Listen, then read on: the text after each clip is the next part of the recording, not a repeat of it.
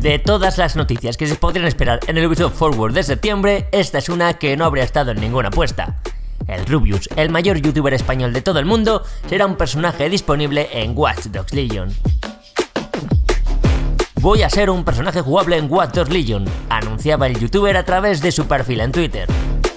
Acompañando el mensaje, ha publicado una fotografía de su personaje en game, además de un vídeo reaccionando por primera vez a este. Junto a eso, Ubisoft ha aprovechado su presentación para recordar la fecha de lanzamiento de Watch Dogs Legion, que llegará el próximo 29 de octubre a plataformas de actual generación. Asimismo, también confirmó durante el evento la participación del rapero británico Stormzy, además de una serie de misiones protagonizadas por Aiden Pierce, personaje principal del primer Watch Dogs.